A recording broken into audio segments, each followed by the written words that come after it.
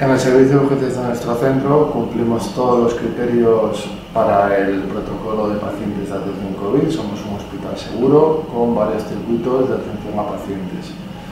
Queremos transmitir toda tranquilidad a los pacientes para que acudan a urgencias por cualquier sintomatología que presenten.